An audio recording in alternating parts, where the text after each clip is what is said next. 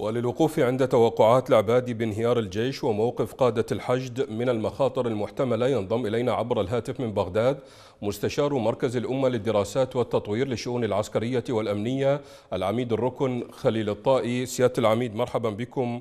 يعني تصريح واضح لحيدر العبادي يحذر من انهيار الجيش مجددا ويذكر بما حدث في عام 2014 لكن سيادة العميد هل من شواهد تؤكد ما ذهب إليه العبادي؟ حياكم الله أهلا بك سيدي الكريم. أخي أولا هناك حقيقة سائدة لا يمكن تجاهلها وهي أن الملف العسكري والأمني تتحكم فيها أطراف عديدة. منها خارجية متمثلة بأمريكا وإيران.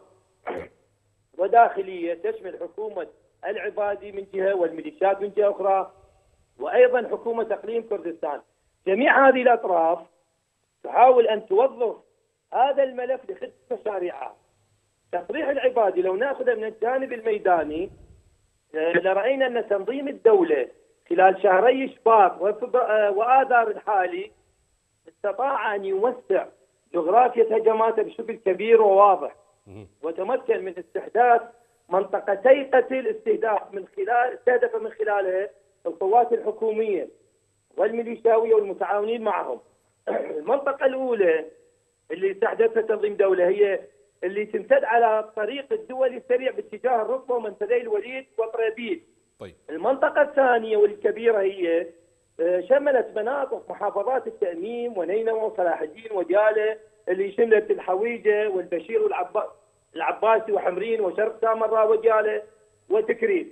هذا التوسع في الهجمات كشف عورة بيان النصر المزعوم للعبادي إذا كما قلنا سابقا مرارا وتكرارا أنه النصر العسكري الذي أحرزته القوات الحكومية والميليشياوية لم يرتقي لاستثمار الفوز وهو تحقيق النصر الأمني. لذلك تبقى الجغرافيا العسكرية في العراق هشة آه، لنقطتين وهو دولة وجوده ولن ينتهي. والنقطة الثانية أن هنالك أطراف متعددة تتلاعب بهذا الملف. بخدمة لمشاريعها إذا سيادة العميد في الفقه العسكري أكثر يعني تحديدا لو ندخل في حيثيات ال يعني ال الأمور العسكرية آه، يعني ما هي الخطوات التي يجب على حكومة العبادي اتخاذها كي يؤمن هذه الحدود من عودة تنظيم الدولة إلى إلى الداخل العراقي؟ أخي الخطوات يجب أن تتخذ عندما تكون هنالك دولة نحن لا يوجد لدينا دولة لدينا آه، سلطة آه، تحكم العراق بعقلية ميليشياوية. وهؤلاء من يتحكم في الملف العسكري والأمني هم زعامات ميليشياوية. لا يمكن أن يتحولوا إلى رجالات دولة. لذلك العقيدة العسكرية نعم. دائما في كل الدول تتأثر بعدة نقاط منها الجغرافيا ومنها الإرسالات البشرية والميدانية وتتأثر بصورة رئيسية بالتوجه العام للدولة. التوجه العام للدولة هو اجتثاث وإضعاف المنظومة العسكرية واستبدالها بمنظومة ميليشياويه، لذلك هذا الملف لا يمكن أن يحسم ليس فقط لوجود تنظيم دولة، وأيضا إذا وجدت تنظيمات أخرى قد تحدث في المرحلة القادمة. طيب سيادة العميد يعني آه، كما ذكرتم يعني ربما ليست الأموال وحدها قادرة على بناء مؤسسة عسكرية وهذا ما ذهبت إليه لجنة النزاهة البرلمانية حيث قالت إن ما صرف على الجيش يضاهي الجيوش الأوروبية. ولكن دعني أنتقل هنا إلى الحشد الشعبي. تعتقد أن الحشد أصبح أقوى منظومة عسكرية في العراق سيادة العميد؟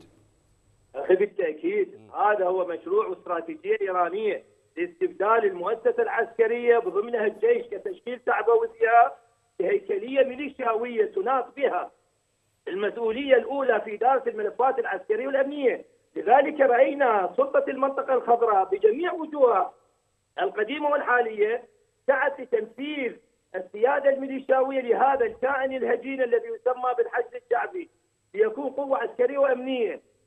أيضا لذلك شاهدنا تم تسليحه وتجهيزه وسن القوانين الخاصة به واخرها هو قوانين الخطورة وغيرها باثر رجعي. كل هذه القوانين هي لغرض توغل وتغول وتضخم هذا الكائن الهجين لجعل قوة رئيسية تحكم العراق أسوة بولاية الفقيه والحرس الثوري في إيران. سيادة العميد إذا ما تحدثنا عن المستقبل الذي ينتظر العراق أه، هل هناك تبعات لتوغل الحشد في الحياة العسكرية والسياسية على مستقبل العراق؟ بالتاكيد أخي الجيش والمؤسسة العسكرية هي من أهم ركائز بناء الدولة وإذا فقدت هذه الركيزة تنهار الدولة بالكامل.